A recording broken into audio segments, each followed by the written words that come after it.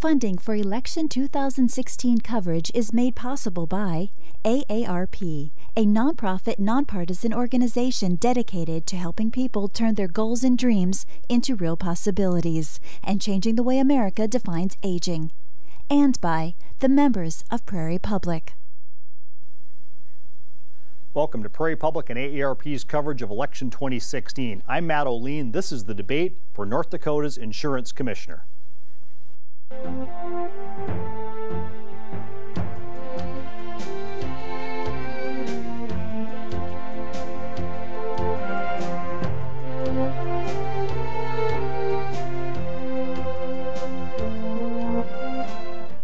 Our guests today are Democrat Ruth Buffalo, Libertarian Nick Bata, and Republican Jon Godfread.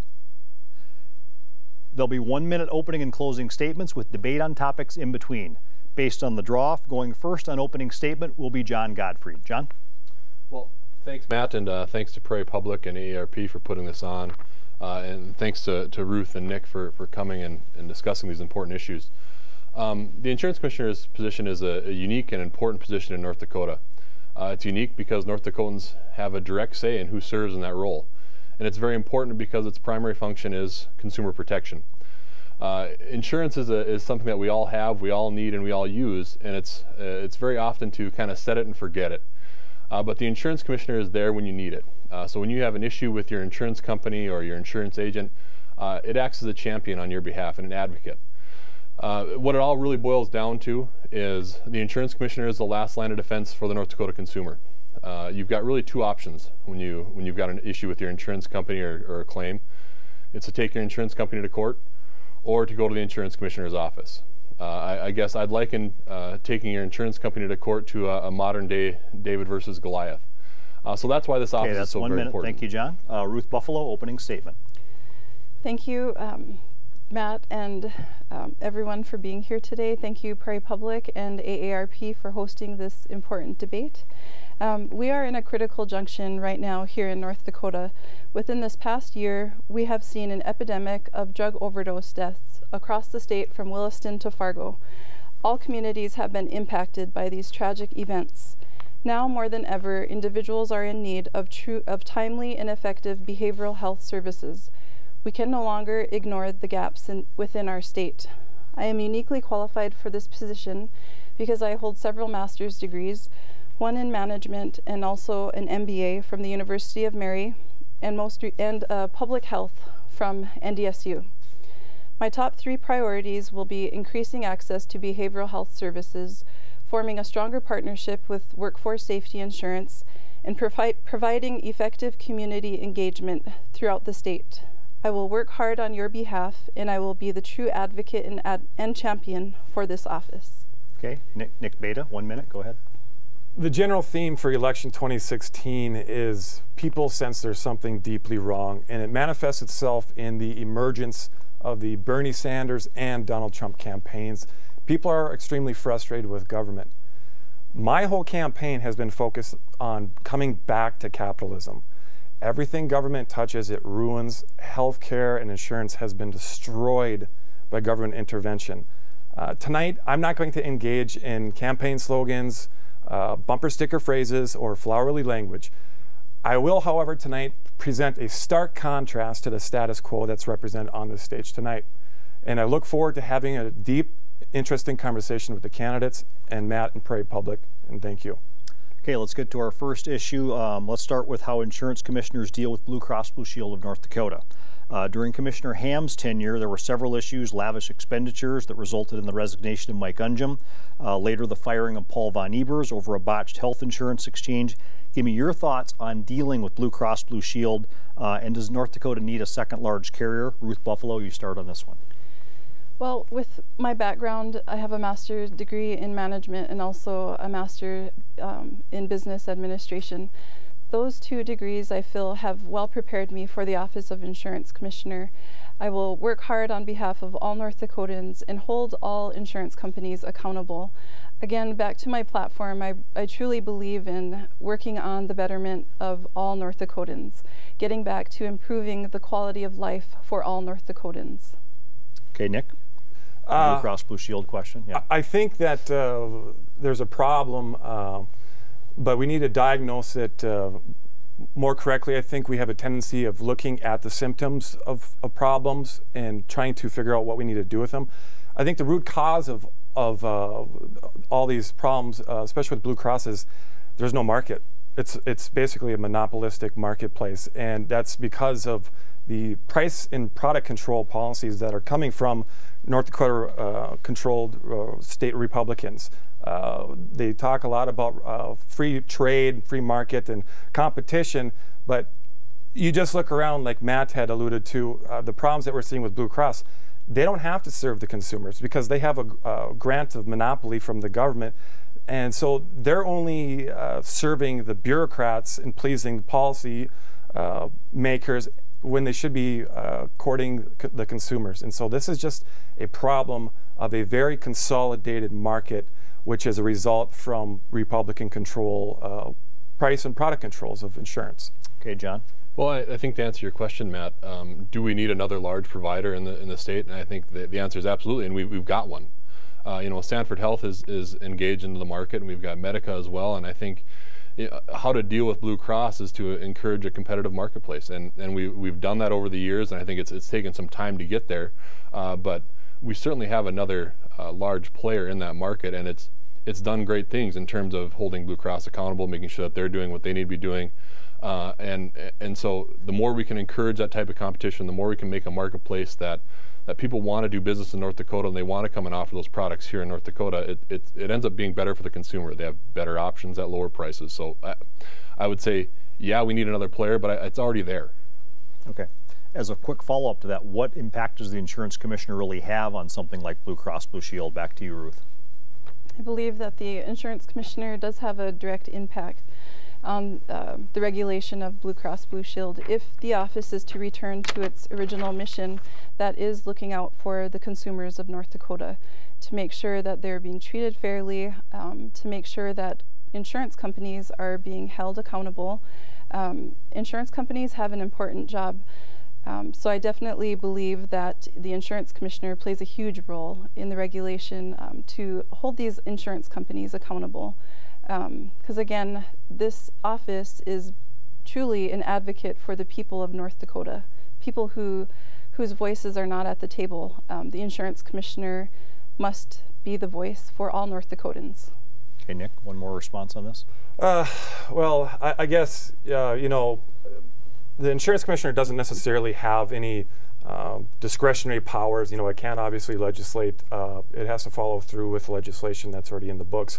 But one of the things that I can provide is uh, use the bully pulpit of the office to uh, try to influence the state legislature that if we're dealing with these problems, we need to look at what's causing these problems. And like I alluded to earlier, it's that we have such a uh, centrally planned economy that revolves around uh, the whims of bureaucrats. Uh, they're taking the power away from uh, from consumers in the marketplace. Uh, you know, you, you look at a, the wonders of a market, and what, what happens is that ultimately it's the consumer that decides. You know, uh, the businesses don't just set prices. It has to be, well, are these prices going to clear the marketplace? And that's completely up to the consumers. Uh, but it's very hard when there's no choice. You know, we have like what two or three uh, in, uh, insurance companies, especially healthcare insurance companies. You go to a candy store, you have 50 choices for candy. Why can't the same pr economic principles apply to insurance. And I think that's what I can provide. Okay, Jon Godfread, last comment on this, and we'll move on to the Affordable Care Act. Well, what, what role does the insurance commissioner have on on Blue Cross and the health insurance in general? Is it's it's pretty minuscule. I mean, uh, uh on the broad scope of things, it's it's mostly in the in the rate control arena. Um, so where where this plays a, a, a, bigger role at is, and again, is and you know, agreeing with some of what Nick said, is that it's it's about setting these market prices that can be uh, that are competitive. Uh, you know, we look at our neighbor uh, just to the east, Minnesota. They've gone through a big issue where some big providers have pulled out because they weren't uh, they weren't necessarily adjusting to the market. What it really does open up, Matt, in my opinion, is a broader discussion on healthcare delivery and how that's done. And I think that that can be, be done through the insurance commissioner's office, through that bully pulpit, and have that discussion uh, with the leadership in our state. Okay, let's move on to the Affordable Care Act. Still a hot button issue out there. Stats show now more Americans do have health insurance than before 2010 when it was passed. But I'd like to know your individual thoughts on this law and how the state continues to deal with it going forward. Nick Bata, you start first on this one. Well, I think, you know, Obamacare is. Uh, it's exactly what North Dakota State Republicans are doing with insurance uh, price and product control. That's all it is, but only it's on steroids. Uh, they take it to a whole new level. Uh, they're they're putting into uh, they're creating policies for consumers when consumers should be the ones that should go out into the marketplace like hmm I kind of like that I'm gonna have that that that and that you don't get that with uh, uh, government run healthcare they pick it for you and I think that's very troubling and I think that's why we see some of the rising costs of premiums when, whenever you add more people into the risk pool prices are going to go up. That's that's just economic law. And so what happens is that uh, government intervention, they're suppressing the prices uh, for some people. And where does that cost go? Well, it doesn't fall onto uh, insurance companies. They pass it along to uh, people that are low risk.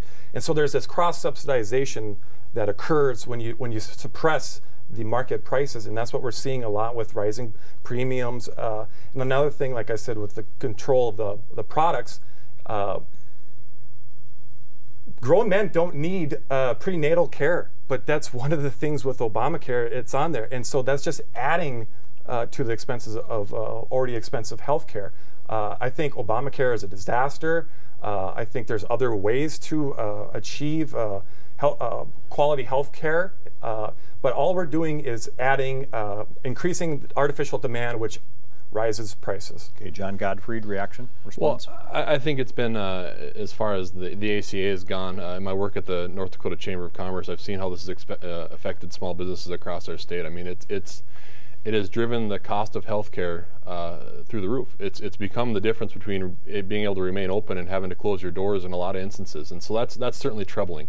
Now, to, to again to answer your question on how the North, how North Dakota has implemented and how it's handling it, um, you know, I think I'll, I'll point directly to uh, our choice to, to stay out of the state exchange and, and, and, and, go into that federal exchange model. I, I'm still in the belief that I think that there, this law still has a lot of growing pains to go, go through, and, and I'm not yet convinced that it's not, not going to collapse under its own weight.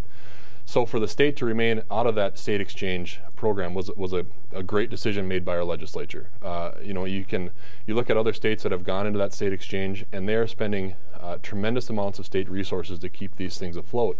And again, I think it points back to that federal law that was passed that it, it has really come home to impact a lot of the small businesses and consumers in our states through through the costs and how it directly how the North Dakota Insurance Commissioner can actually directly impact that it's pretty minim, min, minuscule. I mean, that's that's a, those are federal laws, those are federal issues. But what we've done here in North Dakota is is done our very best, I believe, to keep the costs under control as much as we can. And uh, granted, a lot of these mandates and a lot of these new new changes have come out of Washington, and, and they're being impacted here in North Dakota.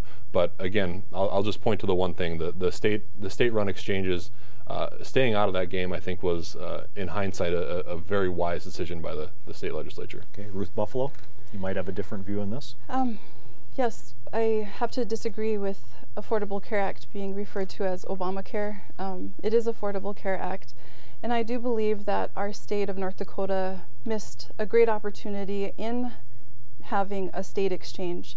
I believe that the state exchange would have provided a lot of potential and opportunity for our state um, to address the needs of our communities. So what that means is that um, if the state were to have the, the exchange, we would have been able to have more of a, a say in how we catered our health care to our communities. Our communities are in need. Um, there's great need out there. It's important to also, yes, look out for our small businesses, but I believe the people of North Dakota deserve better. The Affordable Care Act has so much potential and it hasn't reached it yet. I agree that there are many growing pains, but I believe that uh, Affordable Care Act and I believe healthcare should not be affected by politics. It's really people over politics. Everybody deserves the right to have access to healthcare, and it's our responsibility um, to provide access to health healthcare. Um, Affordable Care Act has opportunities in prevention. If we focus on prevention, we are going to be working further upstream, which is eventually going to save us money and dollars in the long run. Um, so I believe the Affordable Care Act is, is something good. It has growing pains, but um, we we missed some opportunities to reach its full potential. Okay, let's move on to the Dodd-Frank Consumer Protection Act, something you can comment uh, in your closing statement if you want on more on, on the ACA. What is the Dodd-Frank Consumer Protection Act? I know this is something the insurance commissioner does get involved with within the state in terms of preventing fraud. And the second part is what actual power does the commissioner have in dealing with these frauds and scams that we sometimes see? Jon Godfread, you go first this time. Well, speaking broadly on, on the on the issue of insurance fraud, um, you know, just to just to kind of again, I, I, don't, I'm not sure if everybody is super in the weeds on a lot of these issues because I, I, think you know I, I consider myself a little bit of a an insurance nerd and, and, I get into these things, so I, I dig into them. But just to kind of set the table a little bit is you know insurance fraud is the second most profitable crime in our country, uh, you know only behind the illegal drug trade. Um, and what that comes down to is that that affects every American family has to pay about an additional $900 a year uh, because of insurance fraud, because those those costs eventually obviously get passed on to the consumer. So, uh, in, in terms of what the insurance commissioner does and what they what they're currently doing, and, and what I'd like to see continue, because I, I, think Commissioner Hamm has done a, done a very fine job on, on, on prosecuting fraud, is they've moved a lot of that internally. Uh, so now they've got their, their attorneys within the department are able to go out and, and, and kind of, I, I guess, work a little bit more efficiently in terms of prosecuting these frauds and making sure that this it stays out of our state because or at least is contained in our state because again it, it the, at the end of the day it costs the consumer money. And i think that's you know out of the three main functions of this office are consumer protection uh, prosecuting fraud and, and and you know creating an innovative market creating a competitive marketplace. So uh, obviously it's very important and it's it's a it's a costly endeavor to the consumers in our state. So it's it's something that uh, will be a high priority of mine. Okay ruth buffalo um, I believe consumer protections are important. Um, I also believe that um, if we are to have these protections in place to avoid fraud, we also need to be working further upstream um, in making sure that all North Dakotans receive health care and insurance. Um, to me, I feel that it kind of defeats the point of um, working on consumer protections for consumers what about this pool of consumers who are uninsured? Um, where is the focus on that? Where is the outreach and attention on that? Okay, Nick Bata. I think this is a good question, uh, but before we proceed with Dodd-Frank, I think it's appropriate to take a step back and reflect on what caused Dodd-Frank to happen. And uh, Dodd-Frank was like all government intervention. It was a knee-jerk reaction and without any regard to the, the seen and unseen consequences of this uh, intervention. And so what happened was the uh, financial crisis, the housing crisis, uh, and it's easy to point fingers at individual companies and stuff like that. There were companies that were involved with private back uh, mortgages, uh, uh, subprime mortgages specifically, but who was it that led the way in those subprime mortgages? It was Fannie Mae and Freddie Mac that was driven by the Federal Reserve and also by FHA policy and HUD policy for homeowner ownership. And so what happened was uh, Fannie and Freddie led the way uh, of selling these uh, mor mortgage-backed securities, which we all know ended up uh, uh, crashing the market. And then we come up with the Dodd-Frank Act. And what is the Dodd-Frank Act? Uh, it has it's a piece of legislation that is supported by the Wall Street investment banks, and it's killing community banks because what it's doing, it's it's creating more uh, bureaucracy, uh, more uh, red tape, and it's creating a uh, obstacle between community lenders and uh, uh, community borrowers. And so what's happening is these community banks are giving out fewer and fewer loans, and where our consumers are going to turn to are the banking cartels, which can afford all this regulation. And I think Dodd Frank, like most things that come out of D.C. and government, is terrible. Okay, finally, let's. Uh, final question comes from our co-sponsor, AARP of North Dakota.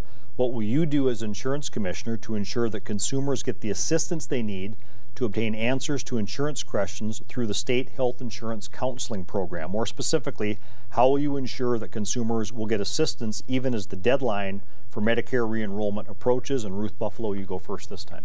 Well, Matt, um, probably it was about three weeks ago, we had held town hall meetings um, throughout North Dakota. And I really enjoy getting out into the communities and engaging the communities and hearing from our community members. Um, so that is what I plan to do as the next insurance commissioner is get out into the communities, receive feedback from the communities, encourage feedback. Um, it's not going to be you're welcome to come to my office at any time. No, it's going to be when can I come to your community and visit with you on and hear your concerns. I believe that's a huge piece of the puzzle that's missing in the effectiveness of the insurance department today. And I believe community engagement is key in be, in having a successful insurance department for our state. Nick Bata. Well, I think, uh, and it pains me to say this, I think that the North Dakota uh, Insurance Department actually does a pretty good job at um, helping consumers with, um, with questions uh, and pointing them in the right direction. But other than that, it, I mean, it, it's price control policy, and we see that in Venezuela, and we see these uh, these type of policies other uh, other places that don't have markets. Uh, I think the best thing that uh, a North Dakota Insurance Commissioner can do is uh, understand that we do not have a free market. That's number one. Okay, we need to understand that we do not have a free market. And the further we go away from the free market, the more unintended consequences are going to happen and happen and happen. So really, we need someone uh, in government, in all positions of government, that that that isn't so uh, uh, blindly thinking that everything government does is sacrosanct and uh, altruism uh, government harms a lot of people and, and, it manipulates the markets. And we need people in there that understand economic law, respect private property, and uh, encourage uh, uh, uh cooperation between business and individuals. Jon, uh, again, the question was the state health insurance counseling program. Um, so well, your response? Yeah, well, I think it's important to note that this office, it's not just your regulator; it's also a resource. Um, and and I, will I'll agree a little bit with Nick on terms of I think the current office has done a, done a fairly good job of making sure you're getting out there and, and having these discussions and and every office has a little bit of a bully pulpit. Every office has an opportunity to have these discussions uh, on, a, on a statewide level. I guess that's one area I'd like to see brought more to the forefront. Um, there's a lot of discussions. We've talked about a lot of them here today. Uh, these, are, these, a lot of these are national issues. Uh, you know, they're not they're not coming out of the state government that we've talked about today but it's important to have an insurance commissioner who is willing to have those discussions at a statewide level to make sure people understand what's going on, where they can get help, and, and how they can help solve these problems in their own day-to-day lives. So that's one thing I'm excited to bring to the office is, is again, kind of reinvigorating that bully pulpit and having some of these broader discussions on a statewide level. And I should mention, I didn't mention it first, uh, this is an open seat right now. Adam Hamm is, is not running for reelection, so I should make that clear. This goes fast. It's time for closing statements already. And Nick Bata, you go first on your closing statement. All right. Well, thank you, Matt. Prairie Public. Um, I don't think I'm the only one that thinks that we have trouble ahead uh, between a fake Obama economy, constant DC overreach, and a Republican controlled state government that spends like Democrats and has the price control policies of socialist Venezuela. I think the time is now that we make our return back to capitalism and put North Dakota first. Um, I don't have the mega donors to fund an electoral vacation. I'm not a full-time candidate. I have to work every single day. Uh, and in fact, I'm, I'm losing money by being at this debate today for missing work. Uh, so that said, the only viable option that I've had for campaigning and other libertarians have had, had for campaigning has been through writing. And you can find these relevant writings at lpnorthdakota.org. And just remember, politicians thrive on sound bites. Let's elect principles, not cliches. Okay, Jon Godfread, one minute uh, closing statement. Well, uh, thanks, Matt, and thanks to Prairie Public again and to every, for everybody for being here. I, I, think it's important to point out that I think we've all got our day jobs and we all we're all doing this. I'm, I'm by no means a, a full-time politician. I work at the State Chamber of Commerce. Um, what it comes down to is what this job's all about, what this what the insurance commissioner can provide, and it's consumer protection. You need a watchdog in, in, in Bismarck who can make sure that they're advocating on your behalf. Uh, I've done I've done a lot of these things. I've, I've worked at the State Chamber of Commerce. I've worked between the insurance regulators, the insurance companies, and, and I represent a vast number of consumers uh, through business policies, through through a lot of these same discussions we're having right now. So it's a job I'm excited about. Um, you don't often hear creativity and innovation go together when you think of insurance, but I think we, there's a time we can do with a, a, simple mindset mindset change in the insurance department to really open up our competitive market and make it a creative and innovative uh, department that will make North Dakota a great place to do business. Thank you, Jon. And finally, one minute closing statement, Ruth Buffalo. Um, thank you, Matt, and thank you, fellow candidates. Thank you, Prairie Public and AARP for this important event. Um, I want to say that I believe we cannot forget about the people of North Dakota. You know, the single parents out there, the disabled veterans, the injured workers, their voices and needs need to be met. And I believe that I can bring that to the table. I will listen to, to consumers, I will go out into the communities, I will represent all North Dakotans. I recognize the enormous potential throughout our state while acknowledging the challenges. We can seek real workable solutions to build a stronger in North Dakota, but we can't do it alone. We have to work across the table. We have to engage our community and we can't forget about working upstream. And working upstream means taking a preventative approach um, in health, really focusing on improving the quality of life for all North Dakotans. Thank you. Thank you, Ruth, and thanks to all of you for being here, uh, contending for the North Dakota Insurance Commissioner position. And uh, I'd like to thank you for watching. I'm Matt Olien, and thank you for watching Prairie Public and AARP's continuing coverage of election 2016. Remember, Election Day is November 8th. So long.